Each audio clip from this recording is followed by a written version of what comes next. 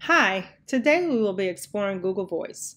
Google Voice allows you to easily communicate with students and parents without sharing your personal phone number.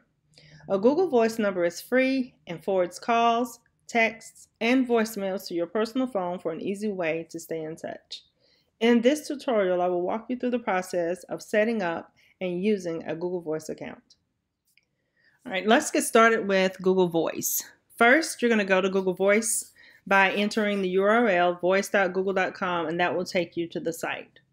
Then you have a couple of options of how to set up your account. You can either do the for personal use or the for business. We will choose the for personal use because we're going to be using our personal Google account to set up Google Voice. When you tap on for personal use, you're going to get a drop down of different options of the different platforms that are supported by Google Voice. So what you want to do here is choose the appropriate one for your device. For me, in this tutorial, I'm going to use the web option. The next thing it wants you to do is choose a number. You're going to choose a Google Voice number by either city or area code. And they also give you some nearby cities that you can tap on and choose a number from there as well. I find it easiest to choose by area code. So you pop your area code in there and then it will generate some numbers. You find the number you like, you select that number, and that is your new number. So I select this number. The next step is to verify. This is how you claim that number. So what you will do here is enter your, the next step is to enter your personal phone number that you want your Google Voice calls forwarded to. You will receive a six digit verification code that you will enter and then your account is set up. Now, once your account is set up, you will now have your Google Voice dashboard. This is where you can add contacts and you can also make calls from the screen. So if we go over here to our left, this is where we'll see all the different options.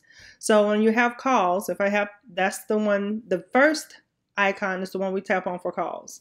You can enter the name and the number of the person you want to reach out to and make the call from your computer screen. The next one is for sending text messages and receiving text messages.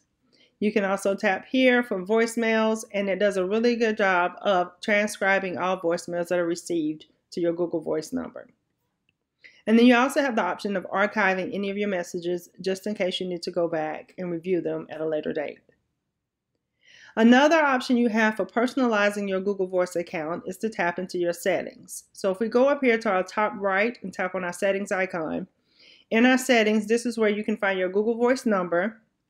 You can also determine if there are any other devices that you want to add to your account or if there are other numbers that you want linked to this account. So if you don't want if you want to have your Google Voice account forwarded to more than one phone number, you have the options here. All the way over here to your left, these are other um, options you have for personalizing your account all the way to your greeting for your voicemails. So once you've got all this done, now your Google Voice account is set up and you're ready to share your number with students and parents for easy communication. Thanks for watching. Be sure to like, comment, or reply to one of our other videos or share the playlist below. Subscribe to our channel and enable notifications so that you don't miss out on the next episode.